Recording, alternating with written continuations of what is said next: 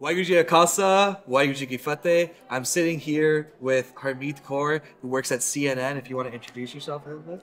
Hi, I'm Harmeet Kaur. I am a culture writer at CNN. I write stories for CNN.com about race, identity, religion, social issues. Yeah.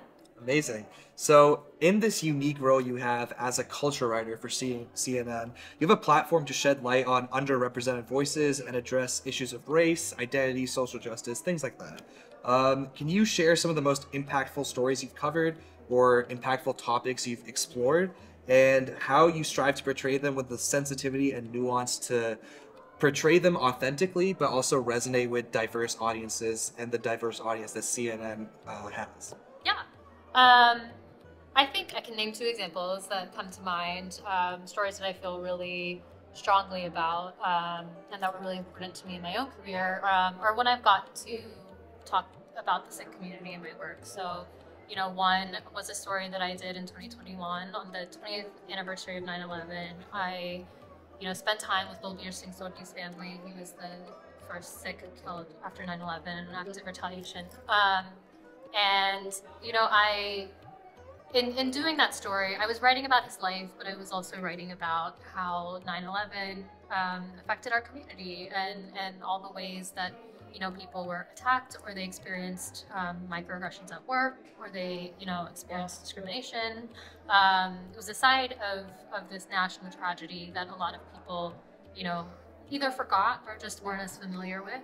Um, and so like you said, it, I think being able to lean on my background in reporting that story, um, you know, just having the language skills when you're talking to folks from our community, they may not be as experienced talking to media. So seeing someone who looks like them helps put them at ease, makes them feel kind of comfortable, um, and like they, you know, can, can share and, and talk about their story. Um, so that, um, just sharing that background, just knowing the nuances, having sort of like having loved ones who have lived through that themselves. I think that was huge. But also, like like you said, have it resonate with a wider audience. Um, you know, this was a national story, um, and we're just you know presenting another side of it that people haven't talked about. So I think um, the it's it's it's also like it's being specific. Um, it's it's um, you know putting that cultural nuance in, putting including that specificity, but also not getting too lost on those details um, and you know, remembering to also like widen out, zoom out, um, and show why everyone should care. About this. Right, and I think uh, that kind of uh, smaller narrative that gets missed is can really only be brought up by someone from the community. For example, the big narrative you hear around 9/11 is, "Oh, the country was united for a bit after that." But Balbir Singh Sodhi's family, the largest community, we know that that's not true because literally hours after he was killed, and that started a wave, a new lifestyle for those of us living here.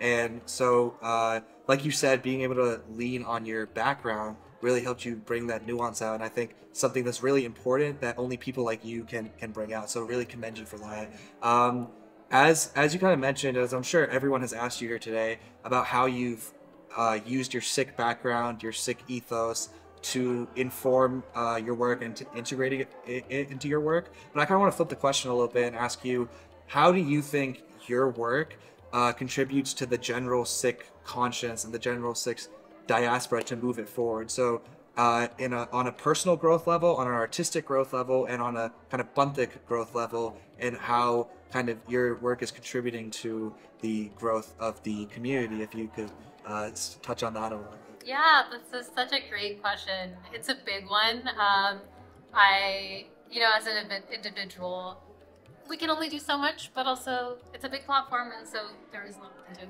Um, I think one, there's the surface level representation, of right? Like other people see, oh, there's a Sikh in this big mainstream space. Um, you know, there's someone like it, it's it's possible. There's also someone that um, you know we can go to to tell stories about our community.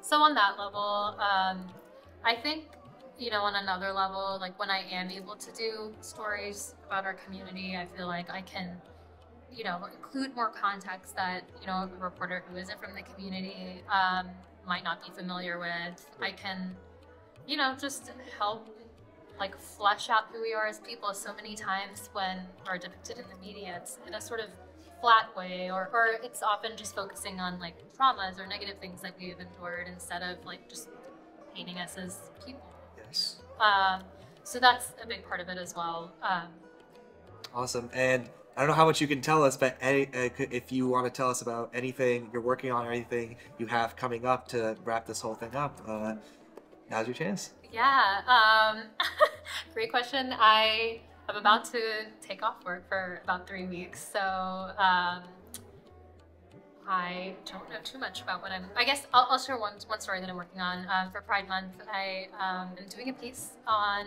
um, how LGBTQ folks in rural America navigate that identity and what it's like for them. Um, that's also a story close to my heart because I grew up in a rural area. I grew up in rural Kentucky, um, and it's a, it's a facet of that experience that I think doesn't um, really get explored much in the media. So I'm excited to tell that story when I'm back from vacation. Awesome. Thank you for providing us insight into how you kind of work and how you uh, produce the amazing stuff that you do. So thank you so much for giving us your time. Waheguru Ji Ka Khalsa, Waiguchi Kifate. Please subscribe, share, and like this video to support us.